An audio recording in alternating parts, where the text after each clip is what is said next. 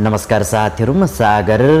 आजको यो भिडियो अन्तर्गत तपाईँहरूलाई नेपाल प्रहरी प्रधान कार्यालयले भर्खरै मात्र नेपाल प्रहरी जवानको बढुवा लिस्ट सार्वजनिक गरेको छ। नेपाल प्रहरी जवानबाट हलदार पोस्टको लागि एप्लाई गर्नुभएको थियो भने तपाईँहरूको नाम सार्वजनिक भइसकेको छ र आजको यो भिडियो अन्तर्गत तपाईँहरूले कसरी आफ्नो नाम लिस्टलाई हेर्न सक्नुहुन्छ र कसरी चेक गर्न सक्नुहुन्छ भन्ने बारेमा तपाईँहरूलाई सम्पूर्ण जानकारी यो भिडियोको माध्यमबाट गराउने कोसिस गर्दैछु। यदि तपाईँले हलदार पोस्टको लागि एप्लाई गर्नुभएको थियो भने तपाईँहरूको लागि आजको यो भिडियो धेरै युजफुल रहनेछ।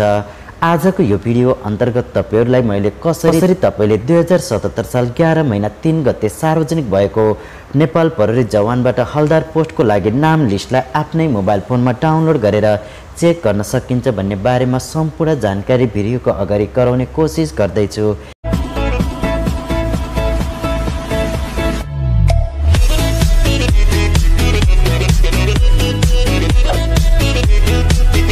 भिडियो सुरु गर्नुभन्दा पहिला यो भिडियोलाई लाइक गर्नुहोला र यदि तपाईँलाई भिडियो मन परे भिडियोलाई सेयर गर्नुहोला र यदि तपाईँहरू हाम्रो युट्युब च्यानलमा पहिलोचोटि हेर्दै हुनुहुन्छ भने तल दिएको सब्सक्राइब बटनलाई क्लिक गरेर अल नोटिफिकेसनलाई प्रेस गर्न नबिर्सिनुहोला। यदि तपाईँले प्रहरी जवानको पोस्टबाट हलदार पोस्टको लागि एप्लाई गर्नुभएको थियो भने तपाईँहरूको नाम लिस्ट प्रहरी प्रधान कार्यालयले सार्वजनिक गरिसकेको छ र यो नाम लिस्ट फाइनल लिस्ट रहेको छ। तपाईँले अब आफ्नै मोबाइल फोनमा यो लिस्टलाई धेरै आसान तरिकाले डाउनलोड गरेर चेक गर्न सक्नुहुनेछ। अब तपाईँले आफ्नो मोबाइल फोनमा प्रहरी जवानहरूको नाम लिस्टलाई हेर्नको लागि तपाईँले त्यसलाई डाउनलोड गर्नुपर्ने हुन्छ। त्यसको लागि तपाईँले भिडियोको बक्समा क्लिक गर्नुहोस् र तपाईँले यस्तो एउटा लिङ्क पाउनुहुन्छ र तपाईँले त्यो लिङ्कमा क्लिक गर्दा गुगललाई या आफ्नो मोबाइल फोनमा रहेको गुगल ड्राइभलाई युज गर्नुहोला र तपाईँको मोबाइल फोनमा एउटा यस्तो इन्टरफेस खुल्नेछ। अब तपाईँहरूको मोबाइल फोनमा एउटा यस्तो इन्टरफेस आउनेछ जुन तपाईँले यहाँनिर देख्न सक्नुहुन्छ। नेपाल सरकार गृह मन्त्रालय प्रहरी प्रधान कार्यालय बडुवा समिति सचिवालय भनेर तपाईँले यहाँनिर सूचना पढ्न सक्नुहुन्छ र यो सूचना प्रकाशित गरिएको मिति तपाईँले तल पढ्न सक्नुहुनेछ। दुई हजार सतहत्तर साल एघार महिना तिन गते यो सूचना प्रकाशित गरिएको र तपाईँले विषय पनि यहाँनिर देख्न सक्नुहुन्छ। बडुवा सिफारिस सूचना प्रकाशित गरिएको भनिएको छ र तपाईँले यहाँनिर पढ्न सक्नुहुन्छ।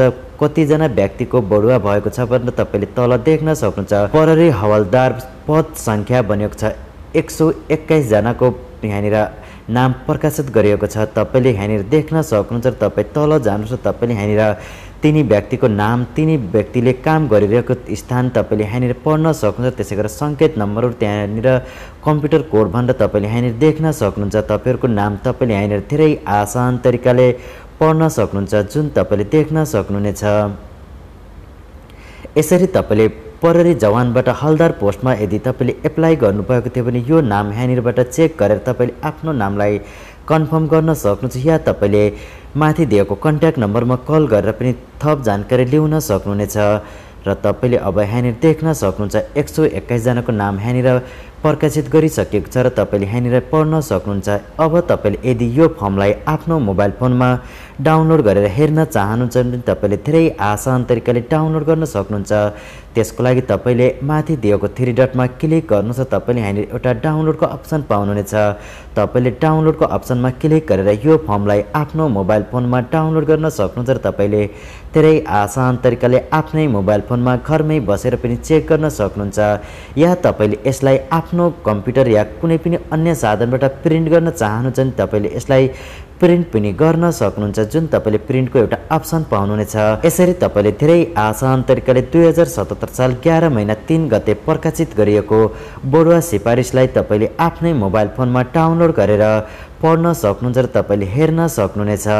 यदि तपाईँले यसको बारेमा थप जानकारी चाहनुहुन्छ या तपाईँले केही कुरा बुझ्नु भएको छैन भने तल दिएको कमेन्ट बक्समा कमेन्ट गर्न सक्नुहुनेछ।